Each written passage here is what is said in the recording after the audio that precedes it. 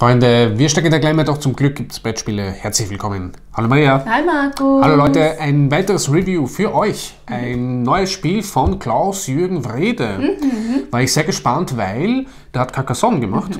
Und jetzt macht er wieder ein Familienspiel. Da bin ich gespannt. Ja, kann es auf ähm, alte Erfolge anschließen oder nicht? Wir werden sehen. Aber eins nach dem anderen, was haben wir da? Fire and Stone. Fire and Stone. Ein Familienspiel Mhm. ab 10 Jahren, 45 bis 60 Minuten und für zwei bis vier Spieler. Okay. Was ganz normal ist. Was macht man da in dem Spiel? Man bewegt Figurchen und dadurch sammelt man Ressourcen oder bildet Siedlungen. Mhm. So weiter und so fort. Kann am Feuer ein bisschen braten, Essen Ja. braten, dadurch kriegt man Beutelchen und Nahrung. Ja, Im Prinzip ist es ein Plättchen auf Deckspiel, was mich an, an alte, alte, alte Spiele erinnert. Ähm, ist es wirklich so antiquiert oder nicht? Ich würde schauen. Wir schauen mal rein. bis dann. Bis gleich. Und so sieht der Spielplan von dem Spiel aus. Er ist aufgeteilt in drei Teile, in den ersten, zweiten und den dritten. Man darf sich dahin bewegen, erst wenn es aufgedeckt wird durch dieses und in diesen durch dieses. Da haben wir so eine Leiste, wo dann die Punkte abgezählt werden. Das sind die Siedlungsleiste und da haben wir Waldblättchen und die Höhlekarte. Dann haben wir noch so, so Entwicklungen, Entdeckungen und Punktekarten und dann ein eigenes Tableau. In diesem eigenen Tableau, da kommen die Waldblättchen hin und da kommen diese Nahrungsbeutelchen hin, wo man dann die Nahrung hinstellt. Und dann haben wir so Sammlungsplätze, wo man dann Nahrung sammeln kann. Wie das funktioniert? Das Spiel funktioniert, man bewegt einfach diese Miepelchen, diese, diese Figurchen und man darf sie bewegen ein oder zwei Schritte weiter. Man fängt immer da an beim Feuer und dann darf man sich wirklich eins oder zwei bewegen. Wenn man sich äh, bewegt, darf man nicht auf dem Gebiet enden, wo man angefangen hat. Also ich kann nicht sagen eins und zwei, das darf ich nicht. Was mache ich dann, wenn ich irgendwo hingekommen bin? Dann schaue ich, was gibt es da? Gibt es da schon ein Plättchen oder gibt es kein Plättchen oder ist es ein Feuer oder ist es eine Siedlung? Dann kommt es zu verschiedenen Aktionen. Wenn da ein Plättchen ist, decke ich es auf und dann mache ich entweder einen Entdeckungsschritt, eine Entdeckungsaktion oder kriege ich das, was mir das Plättchen gibt. Was, ich, was dann auch noch passieren kann, wenn ich auf, zum Feuer komme, dann mache ich die Aktion von dem Feuer. Und wenn ich auf eine Siedlung komme, darf ich eine Hütte weiterbauen, wenn ich genug Nahrung habe. Aber dazu kommen wir auch noch gleich. Was bedeuten die verschiedenen Plättchen? Da habe ich zum Beispiel Wald entdeckt. Da haben wir so ein Cheat Sheet. Bei dem Wald steht, ich nehme mir drei Plättchen. Ich muss schauen, wo ich bin. Ich bin da beim 1, also nehme ich mir das erste. Dann schaue ich mir das im Geheimen an und wähle ein Plättchen, das für mich okay ist, was ich sage, okay, das möchte ich haben. Wenn ich das gemacht habe, lege ich das auf mein Tableau, wo ich gesagt habe, dass man sie hinlegt und die anderen kommen in den Wald rein. Wenn dann ein anderer daherkommt, kann er sich die restlichen anschauen und ein auswählen und so weiter und so fort. Es dürfen auch mehrere Meeples auf einem Platz stehen, von verschiedenen Leuten. Was man dann noch hat für Plättchen, man hat, ja, ja, sehr super, man hat dann so Essensplättchen. Ja, die darf man dann auf sein Tableau hinstellen. Für den zum Beispiel wäre es super, weil man muss immer schauen, was man schon hat. Das wäre super, weil dann wenn, darf ich es so abdecken. Ich darf nicht das so machen, dass ich dieses Apfel zu dem gebe. Das geht nicht. Wenn ich mich einmal für eine Sorte entschieden habe, dann muss ich bei, mit der Sorte weitermachen. Was passiert dann? Wenn ich dann sowas abdecke, dann darf ich mich entscheiden für eine Entwicklung oder für eine Punktekarte. Die Entwicklungen sind sehr interessant, weil sie uns viel erlauben. Zum Beispiel die da. Da darf ich mich ja drei Gebiete weiter bewegen ab jetzt, wenn ich sie habe. Das ist super. Manchmal ist es sehr wichtig, sich weiter bewegen zu können. Dann gibt es sogar Karte, die heißt Schiffbau. Ja? Die ist auch sehr wichtig, weil dann darf ich diese weiße Linien verwenden. Das heißt, ich darf von diesem Gebiet in diesem Gebiet hin. Wenn ich die Karte nicht habe, darf ich das nicht machen. Also diese weißen Linien sind dann für mich uninteressant. Es gibt auch Karten, die mir sofort was geben, zum Beispiel dieser Ackerbau. Es gibt mir sofort zwei Nahrung. Zwei Nahrung ist wichtig. Ich kann mit Nahrung nämlich Hütten bauen. Dazu kommen wir auch gleich. Hütten bauen, wenn ich so ein Blättchen, genau schau. mit so einer Hüttebau aufdecke, dann muss ich dieses Blättchen daher legen, ja, schauen, ob es irgendwas gibt bei diesen Siedlungsreihe. Wenn, da schon, wenn wir schon da wären, dann darf man ab jetzt in diesen zweiten gehen. Das da heißt, man bekommt einen zusätzlichen Miepel, der kommt dann zum Feuer. Und äh, dann da darf man schon sogar in diesem Gebiet, wo 3 steht, und das da triggert das dann Ende von dem Spiel. Wie das funktioniert, dazu komme ich auch noch. Aber kommen wir zurück zu diesem Blättchen. Das heißt, man legt ihn hin ja, und dann darf ich gratis ein, eine so Hütte hinlegen, dort wo das Blättchen war. Ja, wenn ich dann wieder daher komme, wo die Siedlung schon ist, dann könnte ich noch, ein, noch eine Hütte bauen. Da muss ich schauen, wie viele Hütten schon da sind und dann mit Nahrung bezahlen. Nahrung darf man nur so viel haben, so viele Plätze man da hat. Ja? Also wenn ich acht bezahlen muss, ist es super. Wenn ich neun bezahlen muss, habe ich nicht, kann ich nicht bezahlen. Also, wie viel bezahle ich?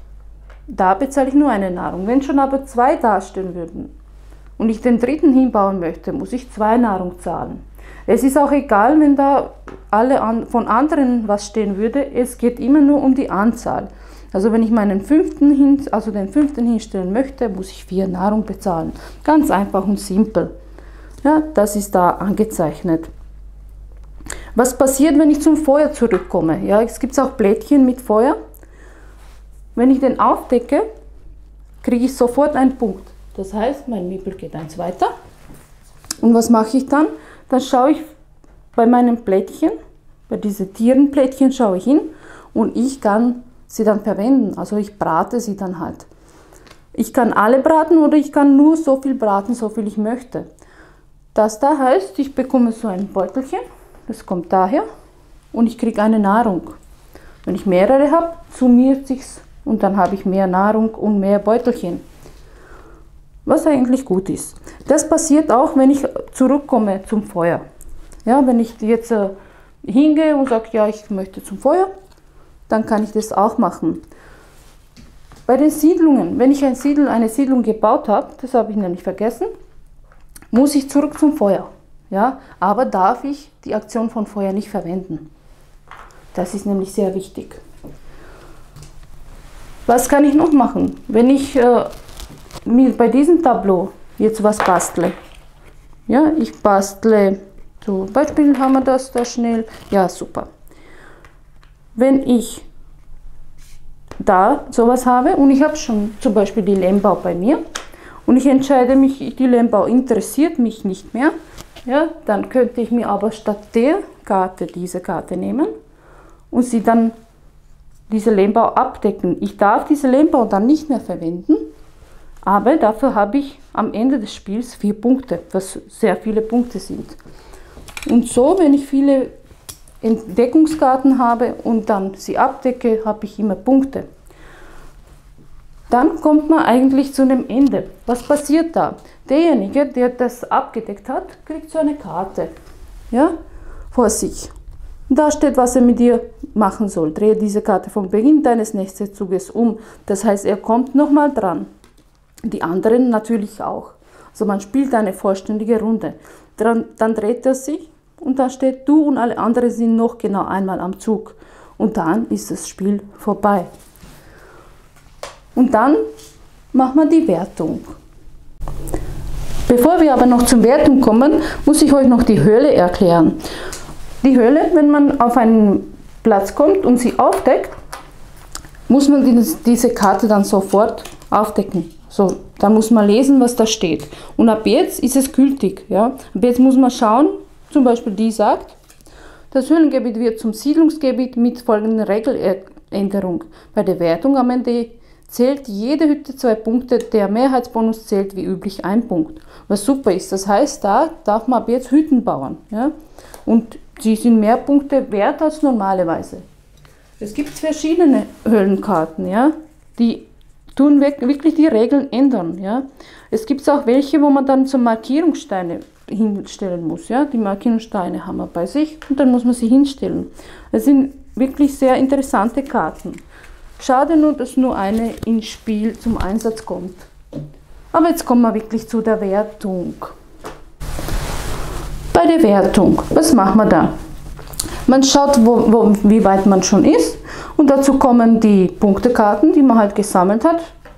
Ja, die zum Beispiel dann wäre, hätte ich noch vier Punkte zusätzlich dazu bekommen. Und dann kommt es auf die Mehrheit ja, in den Siedlungen. Zum Beispiel da hätte es sich genullt, da hätte keine Punkte bekommen, aber sobald ich noch ein Hütchen da gebaut hätte, vor dem Spielende, hätte ich jetzt einen Punkt zusätzlich für meine Mehrheit.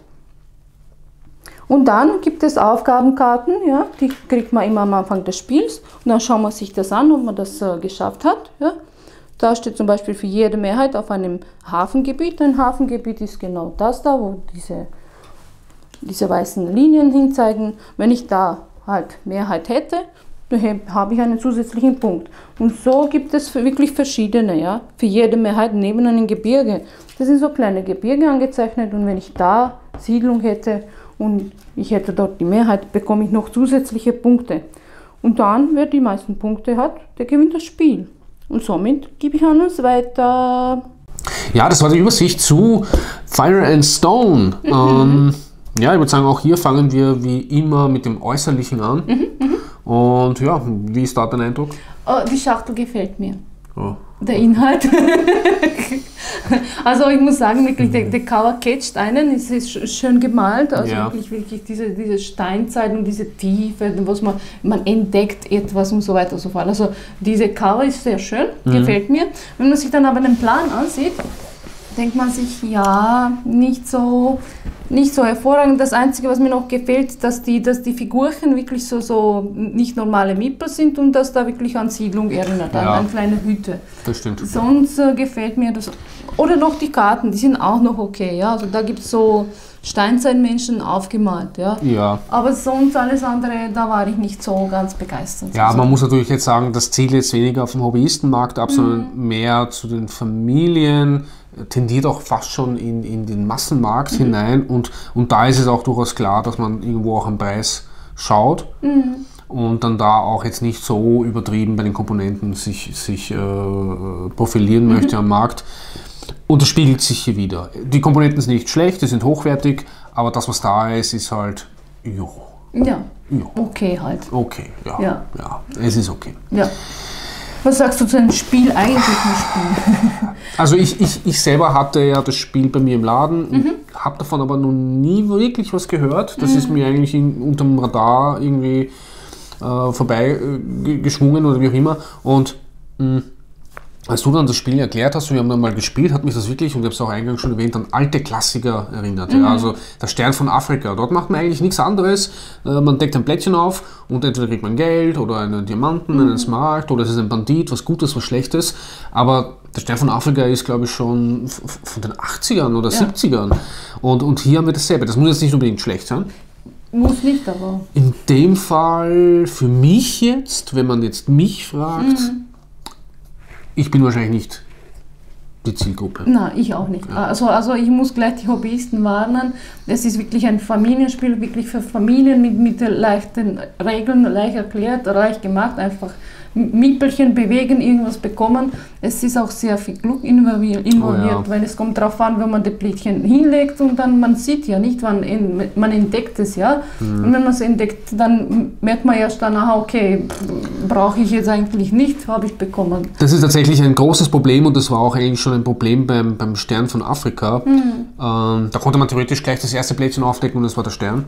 Ähm, hier ist es nicht ganz so, hier ist es ja in drei Zonen aufgeteilt und man weiß, was in jeder Zone sich befinden kann, nur wo dann auch nicht. Und ich hatte ja den Punkt äh, bei der einen Partie, wo ich dann irgendwo in Afrika, oder es ist ja hier nicht mhm. Afrika, ähm, wo ich dann halt im Süden herumgekrebst bin und ich wusste, da müssen noch drei Hütten sein. Und ich habe da aufgedeckt, aufgedeckt, aufgedeckt, da war gar nichts. Und die mhm. haben oben dann einfach blub, ah, Hütte, blub, ah, Hütte, blub, ah, Hütte. Ja. Und dann habe ich gedacht, okay, super, was hätte ich anders machen können? Ja. Ja, nichts. Eben, eben. Ich kann nichts anderes machen. Und das war eben. äußerst unbefriedigend.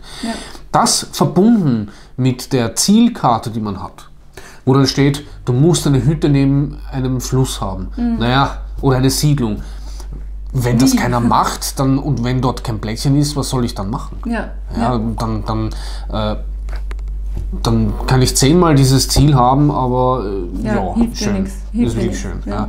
Also da ist leider keine Strategie und auch keine Taktik möglich. Durch, Mhm. durch dieses Glück, das da, sehr stark involviert ist, Mhm. da kann man leider auch nicht dagegen irgendwie gegensteuern oder irgendwas.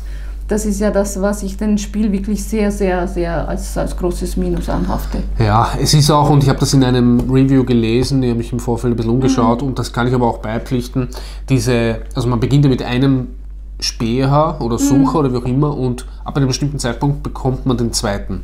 Das ist aber nicht abhä- abhängig davon, was du machst, Mhm. sondern einer triggert das und es kriegen dann alle. Ja, Also eigentlich brauche ich mich gar nicht bemühen, weil das passiert sowieso. Ja, das passiert und jemand, der sich quasi anstrengt und versucht, okay, ich baue die Hütten, Hütten, Hütten, damit das irgendwie getriggert wird, der hat auch keinen Benefit. Ja. Ja, der hat sich super angestrengt, danke. Ich meine, er hat die Hütten, okay, von mir aus, aber mh, auch das ist irgendwie so nach dem Motto, ja, wir bauen diese Mechanik ein, aber zu überlegen, ob das jetzt einen Sinn hat, ob das für das Spiel einen Mehrwert bietet, weil man hätte gleich mit zwei anfangen können. Ja. Das hätte keinen Unterschied gemacht. Es wäre vielleicht ein bisschen schneller noch gegangen, was dem Spiel auch nicht geschadet hätte.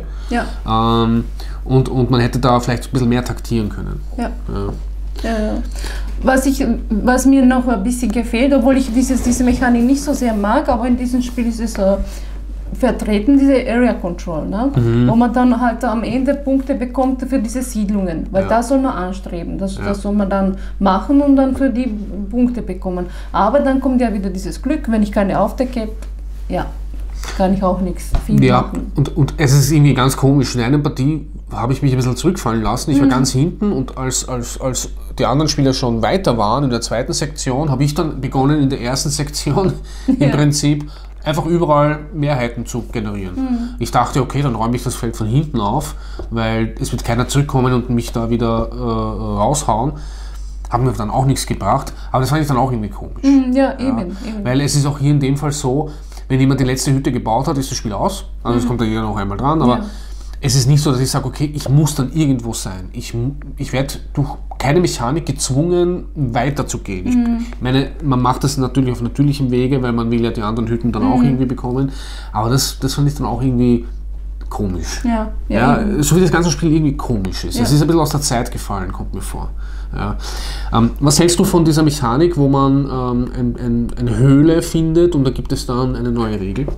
Aber die finde ich auch wieder, also die finde ich gut, Mhm. muss ich sagen. Nur was mir vielleicht gefallen hätte, wenn das mehrere wären. Mhm. Also in jedem, vielleicht in jede Area, wenn da eine wäre, Mhm. die, die für, zum Beispiel nur für diese Area gültig wäre oder halt äh, für das ganze Spiel, dann wäre es super. Also es gibt so einen dicken Stapel von denen.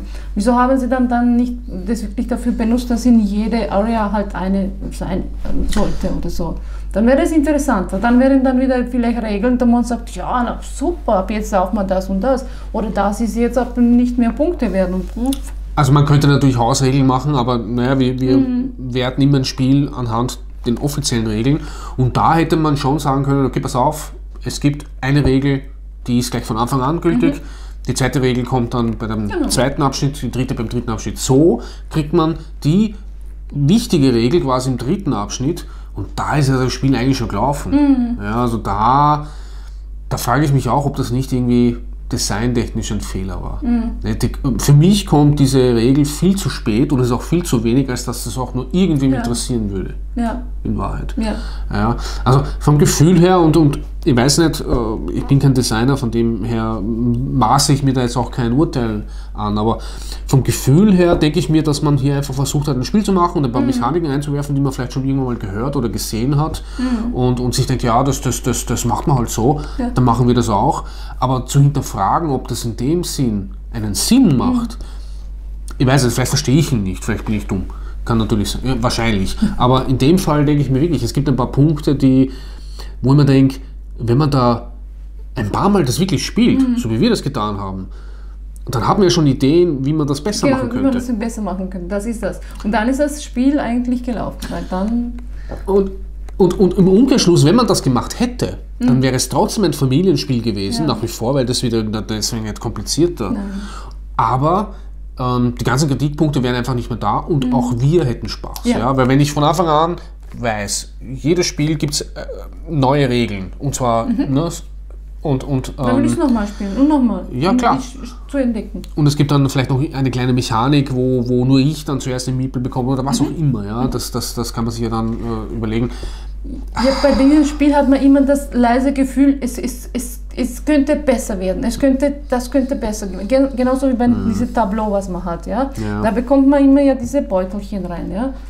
Da, da denkt man sich, ah ja, da kommt ein Tableau-Building. Na, nein, ein bisschen, aber nur ein bisschen. Das ist immer von ein bisschen von. Und es wird nicht äh, dieses Gefühl geben, boah. Ich meine, ja, die, die, das Ressourcen sammeln und dass man auch genug Beutel haben muss, damit man die Ressourcen äh, wirklich auch haben kann. Und ähm, dass man einfach dann die zwei Bereiche hat, wo man hochgeht. Das fand ich okay, Ja, aber auch nur okay. eben, eben, das Ja. ist ja das. Und, und generell, du, du, du hast es schon richtig gesagt. Ich meine, ich, als, als ich die Regeln gehört habe, habe ich mir gedacht, okay, das klingt schon sehr oldschool, aber macht ja nichts. Und als man dann begonnen hat zu spielen, ich bekam schon, zumindest die ersten paar Minuten, länger war es nicht, ich bekam schon so ein nostalgisches Gefühl, wo ich mich zurück an meine Kindheit erinnert habe, die nicht immer perfekt war, aber Brettspiele waren irgendwie mein, mein Zufluchtsort und Stern von Afrika und die ganzen Spiele habe ich gerne gespielt, wir haben ja sonst nichts gehabt.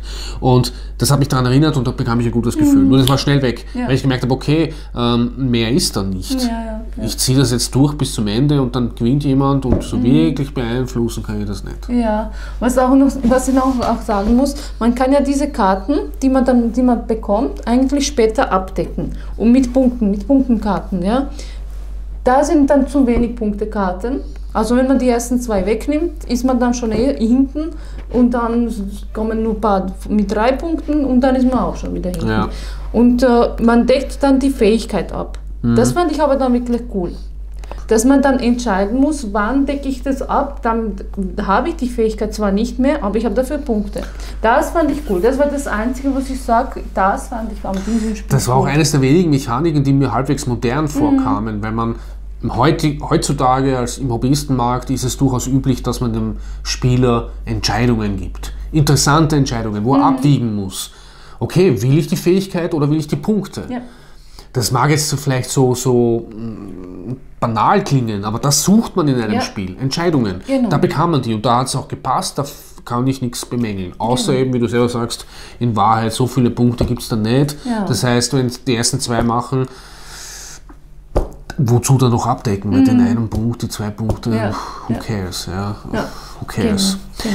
Ja, und das, das Who cares, ich meine, es klingt hart, aber das könnte auch der Untertitel zu dem Spiel sein. Ja, leider. Ähm, ich weiß nicht, ähm, ob das Spiel auch nur im Ansatz irgendwo einen Impact generieren wird können. Weil für ein Familienspiel ist es dann trotzdem zu, zu, zu wenig Kommerz, nicht poppig genug, nicht ähm, ansprechend für die breite Masse und für den Hobby Hobbyistenmarkt ist es eigentlich belanglos. Ja. Ja, leider. leider. Schö schöne Cover, Inhalte.